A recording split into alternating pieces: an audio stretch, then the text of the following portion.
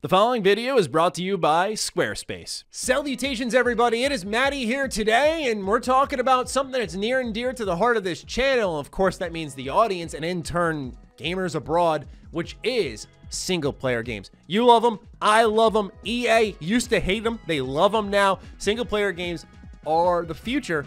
But of course, with the new generation of technology, we have our beautiful Series X and S, we have the wonderful PlayStation 5. We're wondering what will next gen games look like, and of course, how will single player games evolve? Well, that's coming in the form of map changes, seemingly live service elements, and other concerning methods that don't excite me as a single player traditionalist who likes a game that starts and finishes, and occasionally choice and consequence that allows me to replay that game. It seems like for some companies, that is not the future. And of course, as we are in an industry that likes to follow trends, I can see a lot of these development methods bleeding into other studios in different manners. And so I'm a little concerned. Now, you may think it's a bit proactive because a lot of the stuff we're talking about is three to five years away. But of course, as games evolve and they start their development in their four to five year cycles, this can become a problem or a pretty cool thing very quickly. So I want to go ahead and just dive headfirst into a lot of reports surrounding GTA 6, Assassin's Creed Infinity, and to some extent, Halo Infinite. But first, a word from our sponsor. Oh, Mr. Bethesda, you're out of costume. Huh? Wait, no, kid, kid, look. It's not what it looks like. Yeah, so you do get your outfit somewhere. Uh, do, do you mind telling me, I don't know, where'd you pick it up?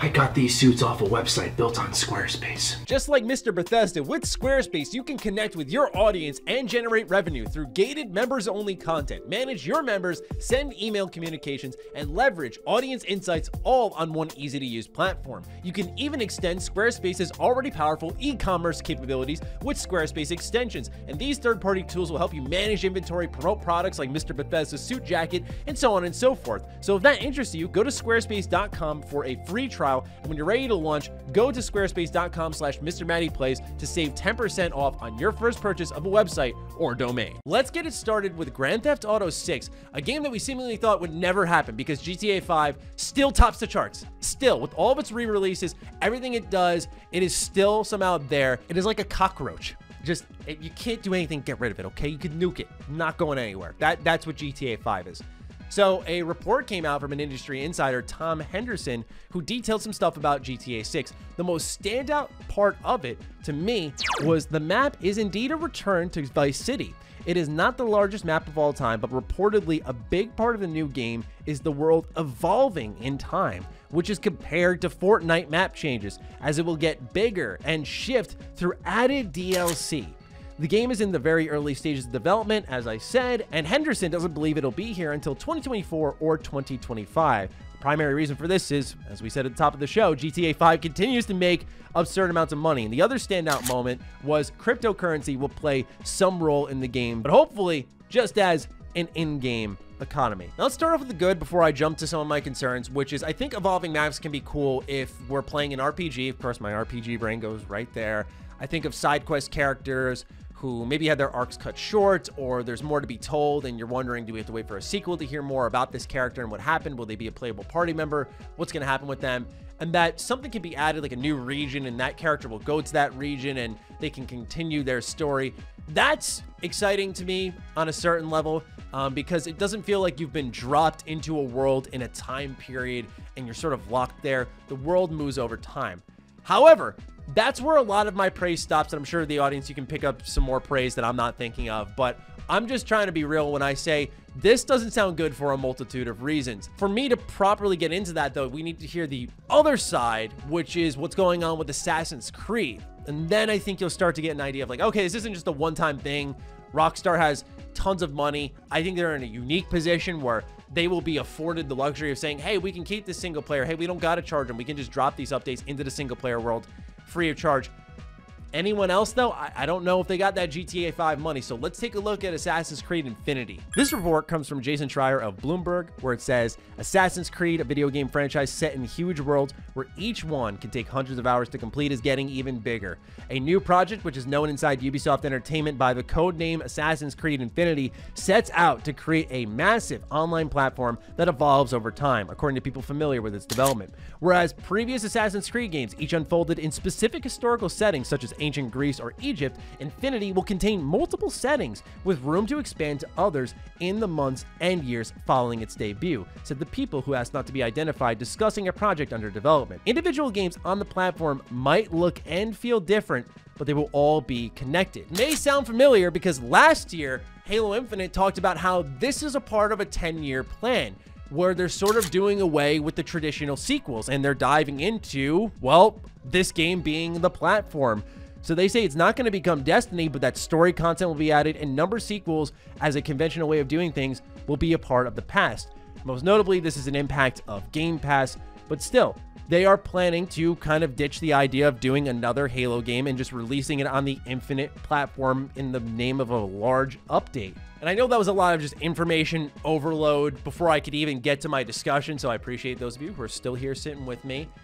But now I'm going to talk, I'm to totally admit right off the rip, I'm to sound like a traditionalist. I'm to sound like you might call me a boomer even, I don't know. But whatever. I like my single player games and I know that they're not to go anywhere. I know that, you know, two things can't exist at once. I know that that's to happen, that we're to have our traditional single player stuff. But of course, you want some of those leading big AAA IP. And when everything's becoming a platform, we got three instances here of evolving stuff. I'm just wondering, of course, how this will be handled because when you hear evolving, living, breathing, to me, that jumps into monetization, right? There's no way in hell that these worlds, except maybe Rockstar, who has the financial capability to do so with the revolving door of money, which is GTA 5, to say, hey, we're going to drop these updates and we're making money elsewhere. No worries. Same thing with Halo Infinite. I'm a little less concerned about that because of Microsoft being at their back. But that doesn't mean that a business is not going to operate as a business and give us everything for free. At some point, monetization will be injected. Most notably, the concern is with Ubisoft. And what's hilarious is we're talking about a company that, while I enjoyed Assassin's Creed Valhalla, I enjoyed Watch Dogs Legion, I understand these games are big and to some very bloated. And the idea that a company who's one of their biggest points of critique outside of a toxic workplace environment is how bloated their games are and that they're making an endless, a friggin' endless Assassin's Creed game blows my mind. It really does. And there's cool stuff there, right? The evolving side stories, the idea of a new location being added to Assassin's Creed to explore. Yeah, that's great and all. And just one more hilarious note is that after all this time of people just saying, give us Assassin's Creed Japan, they're like, anything but that. Maybe it's one of these settings. We don't know. But more to my point is that single player games are changing in the coming generation. We don't know how drastic it'll be, how many will dive into this. Maybe they'll see what GTA is doing and what Assassin's Creed is doing and try their own way of doing it. But like I said, boomer moment, I'm going to put it plain and clear. I like when my games start and finish. I know all you watching this have a life of some extent, okay? Maybe some of us out there are no lives, okay? But to my point is a lot of us have stuff to do, and there's something nice about picking up a game, playing it, beating it, and knowing it's done. Knowing you finished it. That you don't gotta wait for the next update. That they don't got their hooks in you and they're like, ah, come back. New update, Matty's like, God, man, let me just live my life. The pressure to stay engaged and the ability to fall behind, literally trying to trigger FOMO and get you to hop into the game so you don't miss out on something. That's what I don't like about evolving platforms. And while in some instances it can be cool, we know this industry too well. I can't imagine it's just Assassin's Creed doing it. It's just, of course, Rockstar doing it. We're gonna see more. And I imagine even Elder Scrolls 6 will tap into this in some way. They've said for a while, hey, we're waiting on technology. GTA 5 comes out in 2013. Skyrim comes out in 2011. They both don't release a new game in those series for over a decade. And you're telling me that when they both come back around the same time period, I would not be surprised if they're sharing that idea of evolving world. Now, look, one thing that I've always said would be cool with next gen is instead of one open world, do you have multiple But I'm a believer also of quality over quantity. I would take one finely crafted, well done, exciting, interesting open world packed with unique content that makes sense on why it exists Instead of giving me two open worlds bloated, it never ends. You're here. This is your living, breathing world. It evolves with your choice. Just spare me the PR stuff, man. I get it. It's important, of course, with Game Pass becoming a factor now and a bigger factor by the 2024 25 window we're talking. And when you look at all the other services that are forming in the industry and where cloud gaming is going, yeah, traditional gaming in the sense of buying your $60 game and playing that it can be uh, it can be looking a little grim. Let's be honest. You know, I think you're still going to be going out there and getting your physical copies, but maybe those physical copies are for games that require the internet and require these downloads. And I just think the retro scene in the next like three years is just to blow up because uh, people are going to miss just a traditional game release. Uh, it's really interesting to not to talk about myself too much, but to watch from the outside as someone who is working on something that, by the way, is a traditional single player game will not evolve. Just watching these other companies seek out the recurrent revenue that they need through these, even jeopardizing what a single player game is, uh, I can't help but be concerned. Now, there's a separation here, is that Assassin's Creed Infinity is unknown whether or not it's multiplayer. Uh, it seems like that's up in the air according to Jason Schreier, where he says like it may or may not include multiplayer, but it is requiring an online platform. Whereas something like GTA, I do anticipate it being a single player thing. And Rockstar does phenomenal player world interactions where you'll find these crazy hidden stories there. And the fact that they can maybe pepper a couple more in there. And maybe we can get to that traditional Rockstar of single player DLC, like people love Undead Nightmare, The Ballad of Gay Tony, and so on and so forth. Like, yeah, people really miss that Rockstar. And I do too. I loved when Rockstar was all about single player. So if this is their ideal hybrid, they're the company I trust to do it right. It's that everyone who's going to follow suit, uh, I don't know, sorry. So yeah, I'm admittedly uh, a bit concerned. I think that this can turn out really cool, and there can be some great changes for single player games that turn these into actual worlds. But I also think it's a slippery slope. And on the other side, you can tumble down that mountain and we can go down a path that may be very bleak for single player games. And I don't want to be too doomsday and cataclysmic. I think that shit's so tired on YouTube. I, I get so bored of seeing the people who are trying to fear monger on YouTube. I get it, man. I really do. So I don't want you to think I'm trying to rile you up. It's it's just me telling you my thoughts. I know that a lot of YouTubers like to prey on that shit, but like I'm just saying I can't help but look at this and go, okay, this is a step in the direction that I'm not too excited for. Um, and, and, you know, we even saw it with reports of Bioware. Now it's single player, but Bioware's recent game was also going to be live service, but it was also going to be formed as a single player title. Man, really, what is happening? What is happening? I, I, I get it. Money matters and, and shareholders demand more, but there's got to be a way to meet in the middle where, where we can make our money and make our cool single player games.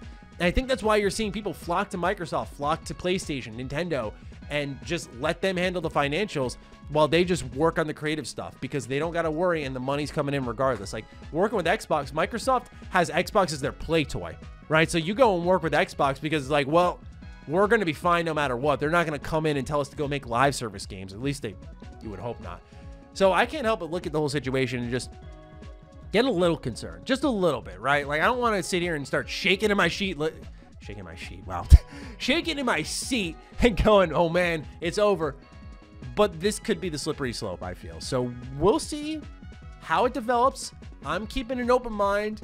I'm going to see how these games look. They're years away. We're going to see how things transform. I also wanted to add in too, Kojima has some type of cloud game in the works. So these games, they're changing. They're changing how they're made. And eventually it's just going to matter about the product. And with the ease of access of Game Pass and I'm sure many other competitors, it's going to be a very interesting conversation. So I leave it in your hands. I'm looking forward to hearing your thoughts in the comments down below. Other than that, follow me on Twitter, follow me on Instagram. Those links are in the description down below. A big thank you to all the patrons, all the members who let me sit down here and just get a little worried. Stay sexy, stay active. I love you all. Peace.